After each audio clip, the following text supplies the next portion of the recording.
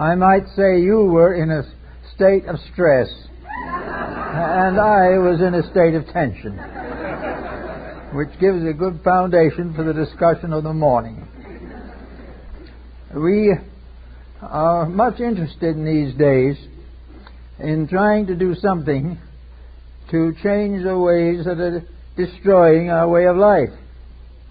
Every day the papers have reports of new and useful reforms, most of which do not work. They do not work because if they would work, we'd be using them already if we liked them. But they interfere with us. They make us do things we ought to do, and that is a very serious mistake. No political party will ever succeed with that as a slogan. So we take the problems of today and we say, what is the cause of stress? Well, stress is a misuse of something. When we use energy correctly, we have proper function. When we mix up things or make a serious mistake, we get stress. Stress may be the right thing in the wrong place, or it may be the wrong thing in the right place but it's not where it belongs at that moment, and it is not doing the job it was supposed to do. And wherever stress appears, it's a symptom. It's a symptom that means correction is indicated. Stress gives us warning. Stress in the body can produce pain, which gives us warning. But wherever there is discomfort in this universe, we must finally decide that man is responsible for it. Nature did not cause the discomfort. Living things in various orders, becoming in one way or another maladjusted. This results in pain, stress, and uh, the misfortunes we worry about. Now, today we are in the worst problem of stress, I suppose, in the history of the world. Now, what is it? Is it a rate of vibration? What is this thing that is contagious and infectious and runs through nation after nation and brings the whole conglomerate into trouble? It is vibration, there's no question about that. Vibrations of one kind or another striking other vibrations which are not suitable or compatible become involved in conflicts of one kind or another. The reason we are in the mess we are in is because we are out of step with the plan. We are not doing what we're supposed to do. We are not taking care of ourselves as we are supposed to. We are misusing the natural resources that come to us as we are not supposed to. And in one way or another, we are, in a sense, delinquents. Delinquent as a group. A delinquent civilization a delinquent order of life. What we call humanity is re- at the moment is really a delinquent order of life. Something that seems to insist on doing things wrong. Now we can say that that's an exaggeration. That a lot of people are doing things right. But when we look into it carefully, we find that the people are doing, who are doing it right are not very well known and not very numerous. But the people who are doing it wrong are very famous and are very, very numerous. And they keep on being numerous, and they make new rules and new laws and new covenants so that they can continue to be delinquent. Now, it would seem that the average person coming into a country which he is not native to would do what we do when we visit foreign countries here the first thing we try to do is to find a little textbook so that we can ask and answer simple questions. Then we try to study about the country a little bit, what its customs are. We don't want to insult or injure somebody. We do not want to appear to be unpleasant. So we do all ways that we can to do little things that make us uh, pleasant in that country. And we probably get along pretty well. And of course, fairly, honestly, we are all the time looking for bargains. Bargains was really probably what took us there in the first place. It wasn't love of scenery. Well, we caught a little scenery along with the bargains, and all went well. Now, when we come into this world by birth, We are coming into a strange realm. Perhaps we've been here many times before, but we've forgotten it. There is nothing that we learned long ago that is immediately available to us. We have to search memory and re- recapitulate some of the happenings in order to make ourselves adjustable to the new situations. So we come in new and ready, and we immediately begin not by becoming strangers and by trying to learn the ways of this country, which is going to be our host for a while. We come in with only one thought in our minds to change the country. The country must do what we expect it to do. It must do just what we want. It must give special priority to everything that we like. And most of all, it would be honest when dealing with us, uh, not necessarily all the rest of the time. So we come in here uh, to take over something that we know nothing about. And we've been doing that from the dawn of time. We have come in as mental giants. We have come in as capable of ruling everything. And we have settled down to imposing our own laws upon a world that has laws of its own. Natural law is inevitable. Human law is usually in trouble. We go back to the very beginning of all this, we find various codes of law, uh, like the codes of Hammurabi and the, of, uh, the codes of Justinian. We find that in ancient times men created codes. Now, the earliest of these codes was probably the most honorable. We would consider them the most primitive. We don't think of those codes anymore because they demanded honesty, and that was a mistake. We don't do that when we're really building something for ourselves. Mistakes are for other people, and we want to profit from them. We do not want to change our own ways. But in any event, we have these ancient codes, and they tell us very simply keep the rules and they'll keep you. Break the rules and the rules will break you. But we're not following that line of thought. We are doing everything we can think of to create systems for evading facts. Finding that the truth is too uncomfortable to endure, we've got to change the truth, not ourselves. We must continue to find ways to doing what we will and want to do in a universe that says we have to do and be what it wants us to do and be. We are not here to change the universe. We are here to grow up. The child that goes to school is not here to build a new schoolhouse. He's there to take the instruction that has come to him. Now, in the days that have gone by, we had plenty of opportunity, going back 5,000 or 10,000 years, to find out what happens when we're foolish. We've all watched and read about civilizations and cultures and individuals and families that did it wrong. We know the trouble they got into. We know the tragedies that they caused. And we also know that we have inherited a great deal of misery from their mistakes. But it never occurs us, to us to realize that there were rules to start with that we should have been giving thought to, that we should really have been attempting to understand and apply. So we keep on making our own little rules, and we keep on getting in trouble with them. But if we wanted to make the major rules, the changes that would straighten it out, it would cause us to do things that we really don't want to do. We do not want to cooperate. We want to compete. We do not want to eh, rejoice in the well-being of others. That we want them to participate in the process of taking care of our well-being. All the way along, each individual considers himself the object of, the, of major consideration. He wants to do it his way.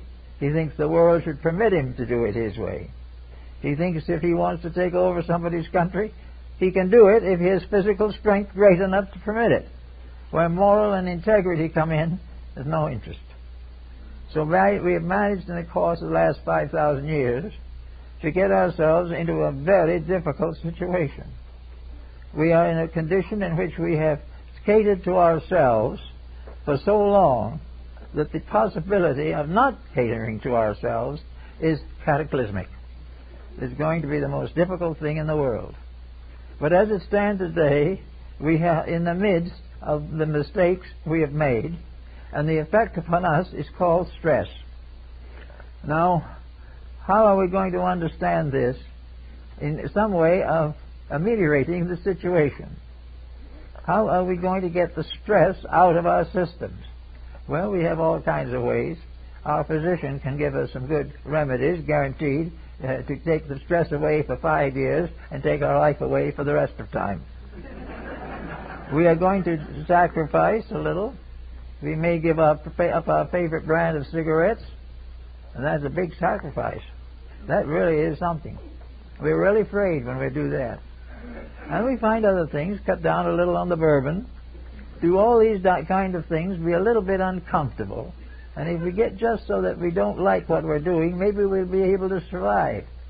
Because survival seems to depend upon following rules we don't want to obey. So, we keep on exploring the matter a little further. We can go back in history. There's plenty of histories available. We can go back now in art and music and literature, history, philosophy, anthropology, science, and find out all kinds of things about what human beings are doing and have done. And we can also find and learn from this that those who have kept the rules have done the best, but they very often have never been able to be heard to tell the story because they have been eliminated for interfering with the destinies of people who don't want to keep rules. So most of the great rule keepers of time have been martyrs, destroyed by the foolish to, to perpetuate the folly of people who did not want to think. So we have stress building up, and in the 20th century, we have gone to the highest point of stress ever known. Stress plus ingenuity and, individual initiative, scientific knowledge, all types of research and so forth, all these things added together not only bring us uh, advancements in knowledge, but they bring us tremendous compoundings of stress. Here we are. We can we know what we can do. We know what the atomic bomb can do. We strongly suspect what nation, nation is going to get it next. We're very certain that it is going to be loosened by somebody. And so we keep on going quietly along, preparing as much as we can for the worst, but never for a moment trying to change the worst.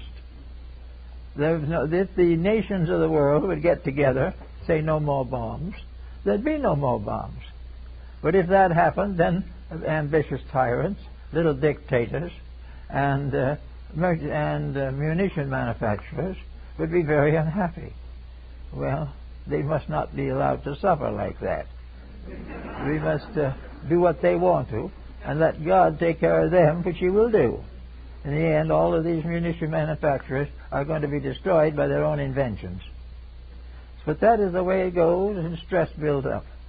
And here we are today with stress in every field of life all of this stress because every field of life that we know of has become infected with the primary mistakes which have descended from time immemorial, both of the now and the past, and proverbially probably also the future, are interested primarily in wealth, fame, and uh, economy of building up great mercantile organizations in other words, wealth is uh, wealth is the science of industry. Wealth is an accumulation of the spoils of war. Wealth as uh, the result of stealing one person's land and giving it to somebody else. All of these things add together to wealth or fame, and these are success. And success is something that if it costs 10,000 lives on the right hand, and 10,000 lives on the left hand, if one man is successful through all this, it makes it all worthwhile. The dead will never complain. So we have this. And the stress is beginning to worry us. Now, some stress is dangerous. All of it is more or less dangerous, but some is really dangerous. And some is sort of primarily dangerous and largely ridiculous. The, the stress that we have in the arts and in education and in music and in these areas of the so-called cultural activities are really more or less ridiculous because there's not any case in which the new forms are equal to the old ones. We go now to the theater and we watch something that is miserably performed by people who know very little about theater, or care less, and receive enormous salaries for doing it badly. This is unpleasant. But we can all stay home. We can stay home and listen to the television, and that's still more unpleasant. So we don't have much choice unless we want to pay $50 for a seat to go and watch a ball game. It's all very foolish. And altogether, it's making people tired. It's making them sick. Now, we know from nutrition and from the new sciences of dietetics and so forth that the individual who is emotionally distraught, who is psychologically disturbed, and who is physically underprivileged and undernourished is not going to be healthy. And out of lack of health comes a series of things that are not just simply toxic in the sense of digestion. Out of this sickness-like condition of the majority of our people, the world, is coming a, a sickness of life, a sickness of mind, a loss of values, a destruction of morale, and gradually we are destroying ourselves by destroying the integrities which make our survival possible. We are destroying the human race because we are neglecting the things that make the human race live. The human race does not live by the grace of God, except eh, not essentially. It lives by the intelligence, common sense, and integration of people. That we live because we keep the rules of living. When we break those rules, we threaten our own survival. And no one seems to care much about this. We hear a lot of objections, but we kind of feel underneath that it'll all take care of itself. We may not have any more trees, but that's a minor discord. We don't realize that those trees are really very important. They're simply basic nothing now but newspaper print on, with the roots still on. We do not understand that when we change all these things, neglect the right things, and do the wrong things, that we become sick. We are sick of worry because worry causes desperate action. And desperate action can lead a peaceful people into war and massacre. We are also miserable because uh, wrong actions upsets our economic balance. We do not know the security of our families we do not know how much we're going to pay for rent next year. All these things are basic mistakes due to the fact that we have suffered from stress and suffer from it every day, but quietly decide not to do anything about it. Now, sometime we probably will do something about it. And we remember the case in the, uh, work of, of the philosophers and the work of Trajano de Boccalini, where the wise men, receiving a great plea from, the, from humanity addressed to the gods, the gods pick out the wisest people in heaven and send them down to take care of the earth. So they all appear in some place, a modern equivalent of Athens, where they going, are going to do great things for the benefit of mankind. And everything they try to do, someone objects to. One man, one of the wise men said, "Let us put windows in the hearts of human beings so that we can see the real motives of each other. Of course, it's symbolical. But uh, some other human being got up and said, if, if you do that, we can't deceive each other. And if we can't deceive each other, then business can't progress. And if we don't make mistakes, then others will. And if we make mistakes, they will also. But if we put windows in to everybody see everybody's mistakes, no one will believe in anything. Well, that's exactly the state they were in. So they tried one thing another to see if they could find out what to do. And one day, success came by. Oh, it was magnificent. It had a great float as in a parade, accompanied by all kinds of dancers and musicians, and in the float sat success, a magnificent figure, jeweled and crowned, were carrying scepters and surrounded by attendants of magnificent proportion. And one of the wise men just by chance, noticed a, a little place where there was a, a gap in the, in the robes of success. So while the, the pageantry was going by, he lifted up a little bit on the robe. And what was under it? The bones of a skeleton. The, the success was a skeleton dressed up. And he told the rest of them about it. And said, well, that's pretty serious. You can't do much with the world that conceals evil and tries to make it appear to be right rather than to change. So they said, we've got to do something. So they all got together and uh, tried to teach the people something. No luck. So at last they made a special official announcement that the whole thing would be solved by adding two cents to the price of cabbage. the thunderous applause was received. Everyone said it's the most noble thought in all the world that now everything is solved. Everything is perfectly all right. We can all do as we want to if we can be just as nasty, unpleasant, and destructive as we care to be, and we'll pay two cents more for cabbage. And this is such a good thought, so wisely put, that the author was strangled to death in Venice as a reward for telling the truth. So we find that the stress is present wherever folly controls conduct. And that is just about everywhere. Now we watch the newspapers a little in the last few days, and there's some pretty nice things being said.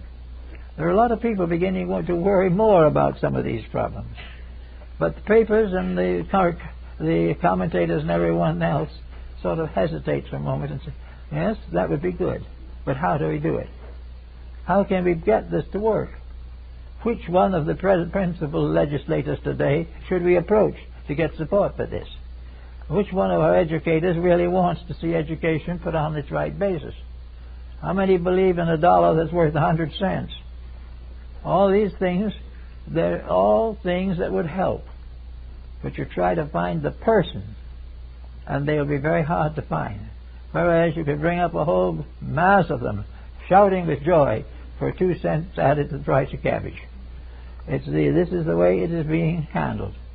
So the average citizen that trying to live from day to day, not knowing how long his job is going to last, not knowing how long he can trust his doctor, how long he can prevent himself from being involved in some legal dispute or vote for the wrong candidate, uh, uh, how long things will endure as they are before they get so bad that the individual loses everything that he has, including himself. So this causes what is commonly known as stress. Stress is the realization that something is necessary and no one dares to do it. This is the type of thing in which the remedy has to come from a major cataclysm of some kind. And it looks now as though sometime between now and the middle of the 21st century, we're going to see a major change that is going to force this whole change upon us because nature, in its infinite wisdom, would rather finally weed out the tyrants and dispose of them than cause or allow the complete collapse of the entire system. Now we have this, therefore, as an environment. We have it giving us the problems of uh, uh, fumes from motor cars. It gives us the, the problem of narcotics, all these different things the major mistakes in industry and all the problems that face us today. How are we going to change all these things? How are we going to take care of agriculture? How are we going to get over poisoning the stock before we chop it up to eat? All these things have to be cared for. But something definite has to be done to force it. There has to be something bigger than a personal feeling. Someone more important than some legislator or some would-be humanitarian who has no influence but perhaps a very good idea. So we must watch for something when it will come that will bring with it the forced change we have to have. Now when this forced change comes, those will probably cry the loudest who deserve it the most. Because if they had not, or someone had not deserved it very badly, we would never have needed it. But having broken all the minor rules of life, we are confronted with major rules that can break us. So we have people worrying. Worrying about the job, worrying about the world, worrying about religion, worrying about whether the Muslims or the Hindus are going to govern something, worrying about where they live, constantly of working for some private cause. The uh, individual worrying the right, that the right to carry a pistol or a machine gun will be taken away from the private citizen. Why the private citizen should own 200 machine guns and rifles, rifles in this country is a question. The, the theory, of course, is that you might need them if there's a big revolution. Well, with a revolution like that and that armament ready, the revolution and the survival become very doubtful.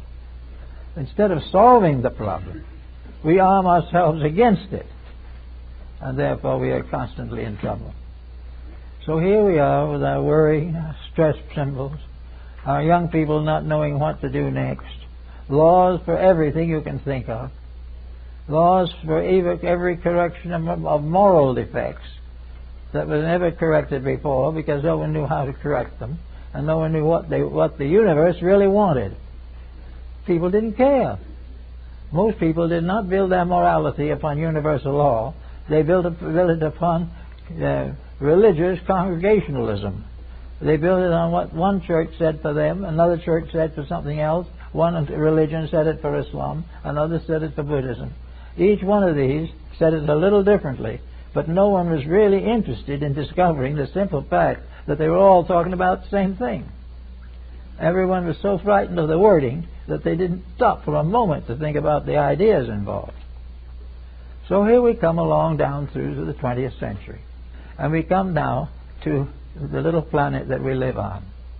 A little planet in which the air is getting more polluted every day, that the water is no longer fit to drink. All these things are getting worse all the time. Congestion, land and problems, all kinds of uh, employment situations, even religion and languages are becoming involved. Everything now is becoming more and more acute, and the individual, as a private citizen, uh, did not know what to do. So while this stress is building out on, in space, tension is building up right here at home in the family. So the world's stress, due to the world doing it badly, is now coming through to family tension. The effect of this conglomerate of pressure on private citizens who have no background, no uh, essential uh, preparation for the responsibility of solving great social problems. There are problem solvers that are very simple. The truth, the truth of the matter is, most of our problems have been that we've made solution difficult when it is not the solution, it's the problem that is difficult. But we haven't thought of it that way. So here we are, with generations of young people growing up without integrities, without morals, with everything based upon the almighty dollar, and we get word coming through the mail any minute now of a new country that has developed nuclear weaponry. All these things we take for granted, and then comes people. Now, people are a very interesting thing. We must study them carefully because we don't know how long we're going to have them. Uh, uh, we, ha- we have to be uh, very careful of people because people are being hurt and disillusioned and destroyed every day. But people are the things that perhaps have the answers if we would give them a little credit. The average person has never been very rich, and while he might like to be, I don't think he is necessarily willing to sacrifice everything for a few more dollars. The average individual has never had a high esteem for his position. He's done the work of the day. He's lived his life. He's retired on his pension and has departed in due time.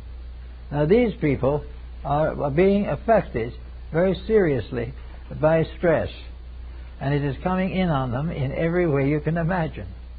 And they are the ones who you might say are the helpless victims of a system. They're not helpless victims because if they weren't partly guilty, they wouldn't be in the trouble. Most of them could have done a little better.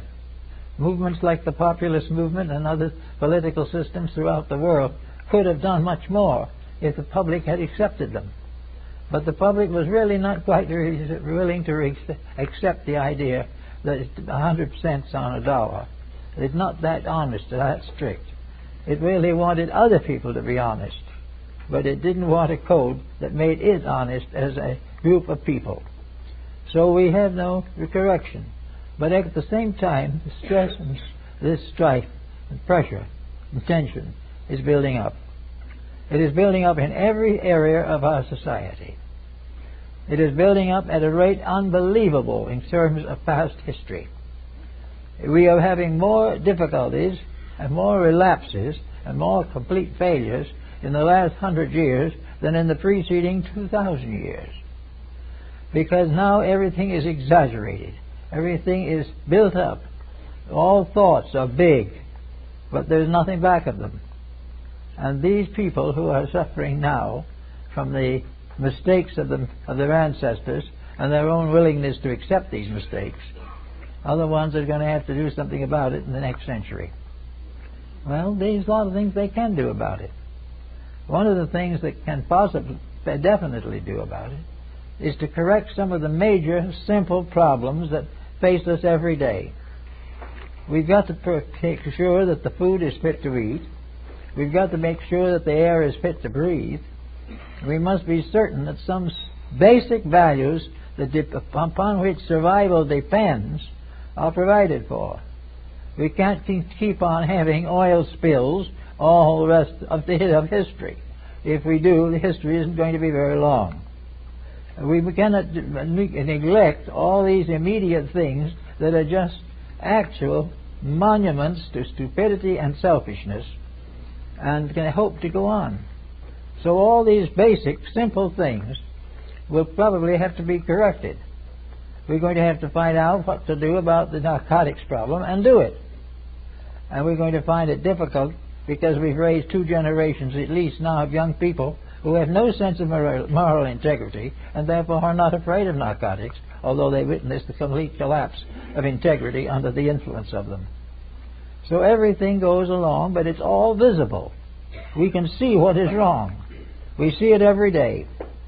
We see it in our thoughts. We see it in our newspapers. We, our politicians are talking about it. Our educators are trying to do something about it. And the rest of the citizenry is waiting, hopefully, that something will be done about it. But in the meantime, there come strikes, and another nation has the bomb. All this keeps on, and nothing changes it. Well, nature is not that patient. Nature is very patient, and the laws of cause and effect work. And the principles of integrity work. We give every individual the right and the privilege of correcting his own faults. We give him the opportunity to do it right. If he's doing it wrong, we try to educate him. Nature tries to educate him. After 25 or 50 oil spills, nature has tried to educate us something about the petroleum industry. We have plenty of opportunity to learn. But wherever it is disagreeable or contrary to our economic choice, we don't learn. It is, uh, it is the thing that is done honorably that is considered as the objectionable uh, alternative. It's not the thing we should be doing, it's the thing that we should win without doing. Now, all this is also talking down into our personal lives. At the bottom of this uh, chain of circumstances is the world home, the family, young people, all the things that go to make up the simple society which has been ours since the dawn of time. We are therefore in the midst of a time in which the most crucial failures, factors lie in the immediate personal circumstances of people. We are in the presence of time in which moral problems are very serious. We are dealing with problems of abortion. We are dealing with all this type of thing. And we are dealing with all of it with a kind of nonchalance. Uh, it doesn't make much difference how it goes, business. And uh, if the justices, the Supreme Court, say it's all right, it's okay. Well, it isn't at all that way. It doesn't make any difference who says it or what they say. It is either true or it's untrue. And if being true it results in misery, then the misery was necessary. If it, if it was not necessary, then the misery is sham. But we find every day that the problems that we create and face can only be solved by integrity. Now, gradually, however, things get worse in the individual's life. Most people today in so called civilized nations, which means really that they're not at war at the moment, this, uh, this type of thing is something they have to think about.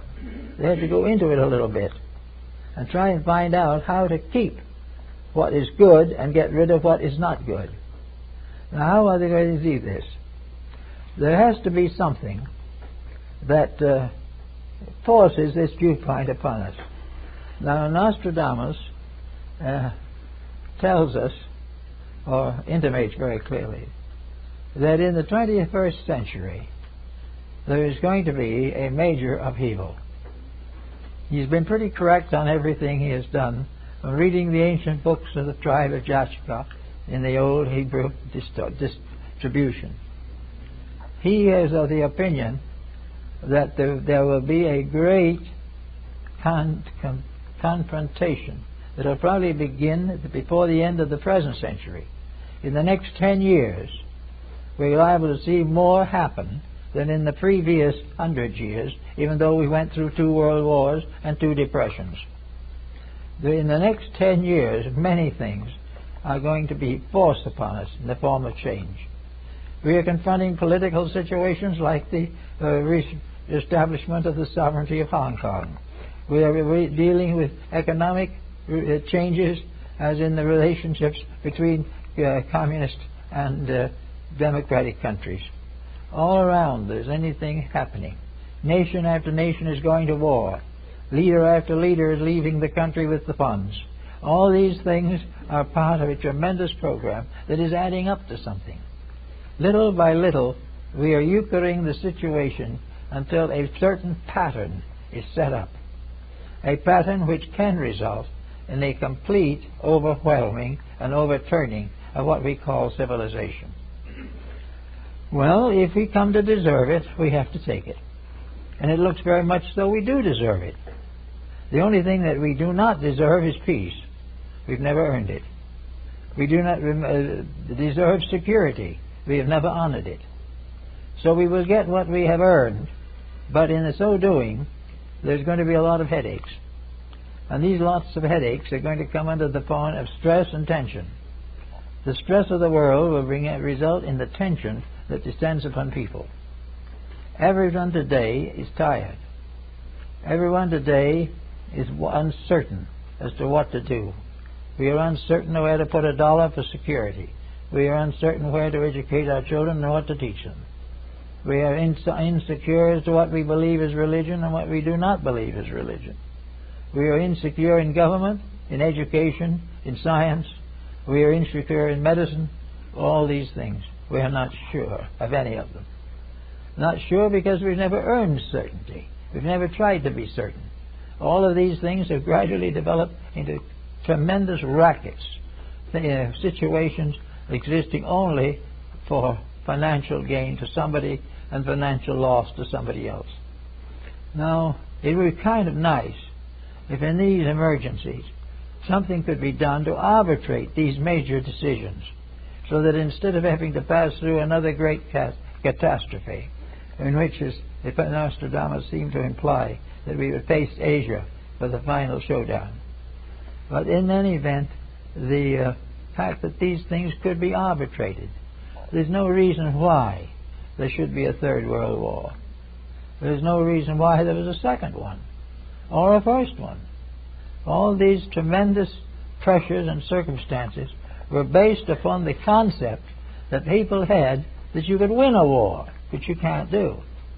So always the war is lost, and then actually hundreds of pages of history can be produced at any moment to prove that every conqueror and every despot has come to a bad end. But nobody pays any attention. Each one has the discovery or the invention that is going to make that his particular purpose successful. And in the meantime, new generations are growing up. Generations that are being born in periods of instability. The young person of today, growing up in the early teens, has absolutely no basis for building a mature judgment on any subject, has no way of realizing that there are responsibilities in life that must be accepted. There is no thriving drive into religion to find the truths of faith. There is no particular interest in the moderate, simple way of life. There's no desire to go back to the farm, and if he did go back to the farm, it's probably subdivided into condominiums. Always there's something. The land is now just being destroyed. The trees are being cut down. The rivers are being polluted. The sewage is so bad that even sewage can't stand itself. All these things and nobody does anything about them. Everyone is helpless. We don't have time, money, or thought to do something about the sewerage because it's much more interesting to see if we can land a, projectile on Mars. And maybe the man in the projectile hopes he'll get there, but then nothing is being done. Science is doing all these wonderful things. Men are born, men suffer, and men die. The, the great facts of life have not been considered. So it's either going to have to be considered or the stress will go on. And we may say that tension and stress are natural symbols for what is wrong. They are the evidence and proof and actual reality of needing the changes that we hope will be accomplished.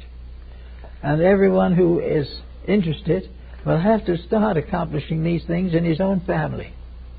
I heard a case not more than two or three days ago of a very nice family of people who have a wayward child. And this wayward child is driving them all to destruction. It'd be absolutely a, a miserable miscarriage of universal justice if the child ever belongs to anything. But the child will succeed, probably become very wealthy, will also have children who will succeed by very wealthy, and then some great flight of planes over the continent will destroy the bank and the stock exchange and leave nothing but death. So we have all these problems as part of stress. And this stress is being felt now, it's rather ridiculous to say so, that how with all this hanging over, with planes hovering, hovering in the air, sewage rotting in the bodies, the grounds, with everything tied up and everything running down, that we should be very worried over such tremendous problems as where to hold the next Olympic Games. Uh, but these are the things that happen. We do not pay attention to them. We suffer when we could be curing things rather than wasting time. Now, eh, most people are fairly busy. But at the same time, most people are wasting more time today than ever before in history. And wasting of time is a misdemeanor. It is something that's going to be held against us. Wasting of time is not fair. To sit in front of some television uh, outlet and watch people do things that are ridiculous, watch them also do things that are immoral and destructive, or wander around in a world of fashions and they call economics, and live this as life. To realize what has been said that many, many people spend from six to eight hours a day, every day of their lives, in front of a television. And yet, on the television itself, they're never going to be the answer because they're going to be very careful to keep that off the air. We're going to get on, only the same things we've been getting. And people have no time left to do any thinking. They, if they read, they read things that are not very important. I saw not long ago a list of bestsellers in literature the very best. They're doing very well. There wasn't one on the list that could contribute anything to the problems that we face today. These things are completely forgotten or ignored because they're painful. They get more and more painful. And then people are going to have all kinds of ideas. They're going to say, I had a nice boy, he grew up and he became a, a dope addict. I just can't understand why he would do that. Why, he did. We were a nice people. We were a good family. In fact, I think we went to church occasionally. but uh, the boy just got out with the wrong people. That's all of us do it. And now he is in, in an institution and will probably die. Why do these awful things happen to me? Why? Because we don't do anything to prevent them from happening. When the time came to give that boy the proper education, the proper insights, either the family didn't know what they were doing either, or they were too busy to pay any attention to what he was doing. So it all goes. Millions of young people. We have about 200,000 a year of really serious juvenile criminals. This is not necessary, not reasonable. And it results also in a terrible headache for the facilities that exist to help these causes. There is no way that we can prevent the problem that we have, this problem of stress and tension, until we realize that we are nervous wrecks because of the consequences of our own actions. We have created a word that will drive world that would drive anyone into a moral breakdown. But we don't combine or think of the fact that we are doing certain things ourselves has anything to do with the collapse of our culture. Well, culture we think is something separate. We pay a government five times what it's worth in order to take care of this for it.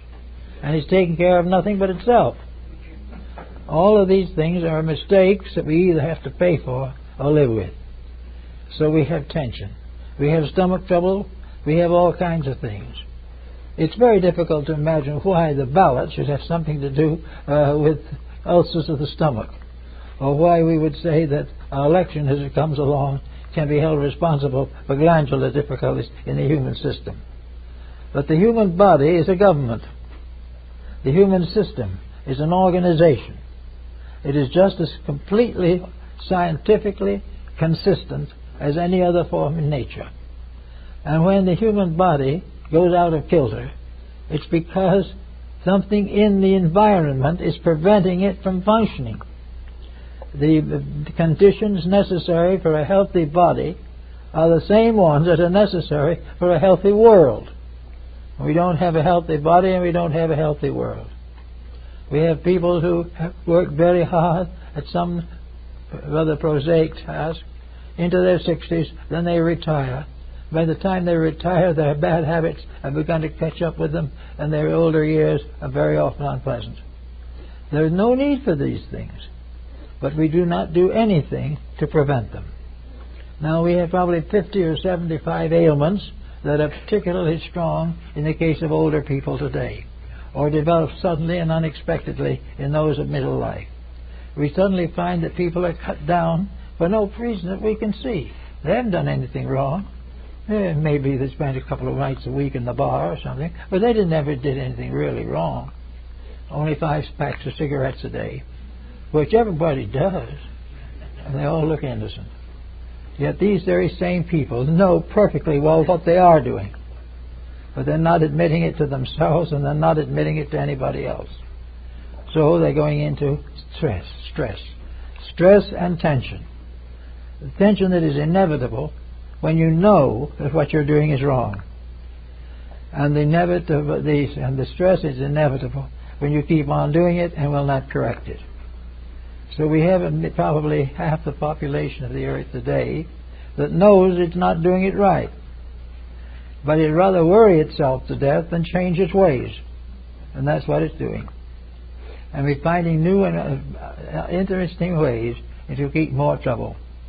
And they, again, again, young people will go out and die for principles that they never learned to live because they were prevented.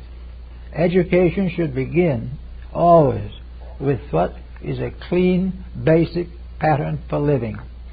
Education should provide each human being with a code of life that it can follow without fear, that it can go on and know that it can live its life within that code without unnecessary suffering which it caused it for itself. There's no reason why people should reach 50 or 60 years old before the fact that they've made a mistake catches up with them. Most of them don't even know it because they've been talked out of the integrities. The man that talked them out of it is also gone because he believed it. When tension is here, elderly people don't want to live alone. Retirement homes homes that break up before, really before the baby arrives, families in which they're all one parent families, some not related or not married at all, individuals living by any system that they can think of, or it appears to be uh, most convenient, regardless of whether it is correct or not. Well, between now and the end of the next century, this condition has to change. And it will change. The stars and their courses have so stated. There cannot be a continuation of destruction without destruction effectively destroying that which it attacks. It has to be changed. We have to have a new way of living. We have to new have concepts of, of how to build a future so that we don't have to work on this stress tension pattern. Nations should not have stress. If they didn't have stress, they wouldn't need armament. Because armament is fear of a stronger enemy. And no matter how strong the individual is, there's always a danger that somebody else will get an extra gun. We know that at the present time, nations are already uh, plotting how they're going to destroy each other?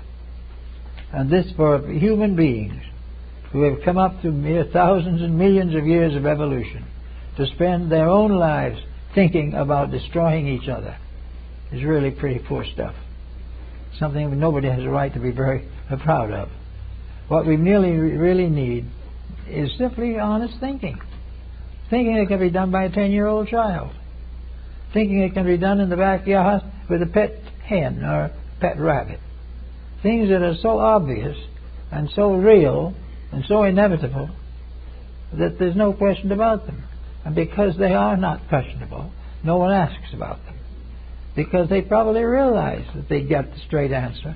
But if they did, that straight answer would, dis- would dis- disillusion somebody about something that they're doing every day. So, we got sick people. We got people with hospital bills that are much too big. We have a world that has all kinds of knowledge and everything of that kind, and still we have difficulty in break, breaking the minimum age limit. We may have put on uh, five years in the course of history to our legal, to our lawful expectancies, but we've taken ten years off by our own dissipation. Everything has got to change. Now we don't need a theology that is full of thou shalt nots and we don't need all that uh, abracadabra that goes with it. What we know we need to do is to relate the fact that a natural universe, a universe of stars and st- galaxies, this tremendous space manifestation that we know, is not something that was created out of nothing.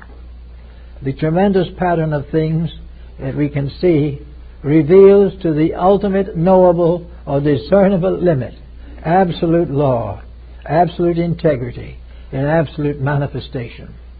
Whatever it is, it's lawful, it's reasonable, and it's right. It always has been. Nothing has ever won against it. Nothing has ever lost that was for it. Now we have this there. The idea of trying to change it, trying to prove, for instance, that the young child doesn't need a home dealing that it, trying to prove that it does do better with one parent than it will with two. All of this is contrary. If it hadn't been, it wouldn't have been set up correctly. When the two-parent system was set up by natural law in the human family, it was set up because that was what humanity was expected to have. We have been now several thousand years trying to get rid of this. Instead of trying to get rid of the integrities of life, we should be trying to get them built up strengthen them, and give more power to that which it is obviously the intention of the creating power. We need these things. We need obedience to universal law, and not obedience to the whining of ignorant and even criminal people. We need to understand nature. And there's no reason why a high school graduate shouldn't already know enough to live a clean life not only for the length of time he expects, but maybe for a couple of extra hundred years if he does it right. We do not need to have all this vast experiment to try to prove something that's no good if we prove it. And when if we kindly do prove it, then something comes along and disproves it almost immediately. We need to have a, a reasonable fear of being wrong. a natural fear, a natural anxiety. But this natural anxiety should incline us inevitably to correct the thing they're afraid of, so that we will no longer fear it. And we will discover that what we thought we feared was really a wonderful truth in disguise, which we were reluctant to accept. When we understand these things and understand them right, we won't have any problems. They're, they're perfectly natural, perfectly reasonable. The archetype of the universe, the great trestle board of, of the heavens, is there. We know the infinite patterns of life. We see them traced in the rocks. We see them in the mountains and in the seas. We see life in every element. And wherever we see man, we see him destroying life. When man destroys enough life, he's going to destroy himself with it. There's no reason why everything that exists should be sacrificed to the whim of man who doesn't even know why he exists or have any real interest in finding out. All he's interested in is being secure and prosperous and important for the few years of his life. Then he will disappear, and his moral problems will disappear with him, but they'll stay with us until somebody solves them. So we can get down to freedom from stress and tension. We all get tired. That's expected. We all have our little problems that we're not going to cure right away. But if we can get a basic set of values, knowing that if we keep the rules, they'll keep us. If we break the rules, they'll break us. And begin by recognizing what constitutes the foundations of a good life the acceptance of responsibility, the recognition of the rights of others to succeed, the rights of all living things, animate and inanimate, to have their, fulfill, their fulfillment in this world of what we, which we are a part. That all things have a right to be considered. The flowers of the field are not there simply to be burned. The trees are not there simply to be chopped down. The animals are not there simply to be slaughtered. All these things have to be corrected and put in their proper relations. And when humanity becomes harmless, it will not be subject to harm. When it becomes aware of the values of life and the principles that it should understand and nourish and protect, it will have a peaceful existence. There's no reason why the human family should not be the brightest and noblest things on the planet at this particular time, and that all other forms of life should gather around it as children gather around the parents, that all the animals and birds and everything in the world would find its place in a world where everything is thoughtful of everything else. This is perfectly possible. We have every reason for it. Most dietitians and nutritionists can prove conclusively that's what we should do. We don't do it. We would much rather pay $15 for a steak and see the animal slaughtered. All these things have to change. And when they do change, stress will change. There's not going to be all this fear and worry and anxiety. We're not going to worry about our stomachs or our delinquent children. We're not going to hope that perhaps we live out our full life and not be destroyed by a war that would just tear down everything that we have. We do not know the mysteries of earthquakes and storms, but in some way the ancients knew that they were sent because of need. One way of reminding the individual that he is not essential in his present condition is that he is removable. If he was right, he would not be removable. He would not be removed. But where he does nothing, does nothing but cause trouble, he is impartial of good or wrong. He is therefore capable of being expended. So there will be better times coming. But I've noticed in the papers and things recently, the last year or two particularly, more and more people are becoming aware of this. The time is now coming more and more when we're beginning to think, and beginning to think of how to do this right. Get it right from the beginning. And of course, average persons can't do anything very big and colossal about all this. They're not supposed to. Not, life is not going to be saved by a few colossal people. It is going to be saved when average persons are ruled by their hearts, live according to their dreams and hopes, are kind to each other, worship truth and good, and devote the unfoldment of their lives to mutual service and cooperation. When we have that type of thing, we'll have a good world. And we don't have to have specials tell us about it. It takes years and years and 50, great big 50 mm, textbooks 500 pages each to tell us how to do it wrong. When to tell, do it right, oh, we have to sit down and just either open the Bible to the Ascension on the Mount or simply quietly realize the need for the fatherhood of God and the brotherhood of man. That if we live right, all these elaborate remedies are unnecessary. The proof being that the false remedies never have cured anything.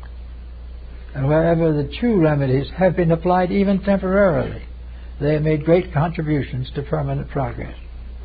After the wars, world's wars of the present century, after the tremendous uh, sorrow and tragedy of probably 50 wars at one time in some places, we should realize that we are coming to the time when all this is stupid.